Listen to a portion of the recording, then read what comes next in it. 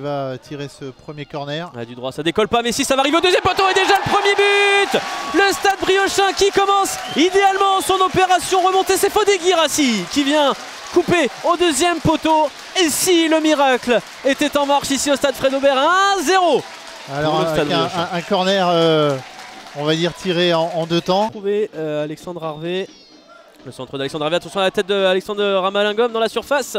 Il faut un arrêt, il faut être vigilant. Euh, le tacle là-bas, attention, ce tacle par derrière sur Fodé Girassi. Et là, c'est un bon ballon, c'est un bon ballon parce que et Julien Benaïm qui peut partir dans le dos de la défense et qui peut servir Hicham Benkaïd. Il n'est pas en position de hors-jeu. Hicham Benkaïd, la sortie de Geoffrey Lambé. Et le deuxième but qui est marqué par l'inévitable Hicham Benkaïd. Il frappe une deuxième fois. Et l'espoir, l'espoir est présent ici au stade Fred Aubert. D'autant que rien n'est terminé dans cette soirée de nationale. La 33e journée va-t-elle laisser le stade Briochin en vie? On serait tenté de dire que oui avant la mi-temps. Pour euh, reconstruire un édifice tout neuf avec des vestiaires euh, plus conformes euh, au statut de ce club. En tout cas, c'est la pause 2-0 pour le stade Briochin qui va encore devoir compter sur d'autres résultats, mais qui est bien parti pour faire sa part du travail. Chan Benkaid qui bouscule légèrement son, adversaire, va-t-on dire. attention à Sedan qui peut-être se mettre dans une bonne position et la frappe et peut-être enfin la plus grosse situation depuis le début de cette, cette partie il n'hésite pas au ce qu'on appelle le dépassement de fonction. Et... Karchi dans ses œuvres, Karchi face euh, à Morgan Jean-Pierre. Ah, Karchi qui va s'en sortir, mais Morgan Jean-Pierre qui s'est rapidement relevé. Mais attention à la tête et la réduction de l'écart d'Alexandre Ramalingom. Il n'en a pas fallu beaucoup au buteur Sedané pour venir euh, marquer de la tête un nouveau but dans ce championnat.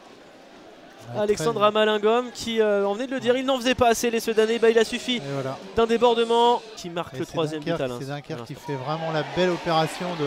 Mais attention, on peut peut-être remettre un petit peu moins de suspense dans cette partie avec peut-être le but de Fodé Girassi. Non, malheureusement, Fodé Girassi qui va pas réussir à redresser ce centre venu de la part de Julien Benaïm. Alors, elle n'est pas facile parce qu'il y a le rebond.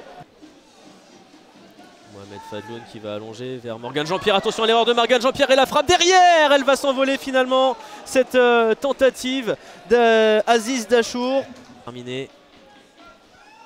Attention à cette tête, attention à cette euh, potentielle égalisation dont finalement Alexandra Malingom qui est privé, privé d'opportunité là. Instant le stade Briochin est encore en vie mais il faut tenir sur ce corner. Attention à Sonny Letton et là le suspense qui va pouvoir être intéressant et revenir sur euh, le maintien. Geoffrey Lambé, il n'y a plus de gardien dans les buts, peut-être en marquer un troisième et mettre fin en suspense. Et c'est terminé ici. Le stade Briochin qui fait sa part du travail, qui s'impose 2 buts à 1. Il va falloir encore attendre de savoir ce qui s'est passé sur les autres terrains pour savoir si oui ou non le stade Briochin pourra ou non jouer sa survie en national la semaine prochaine du côté du Red Star.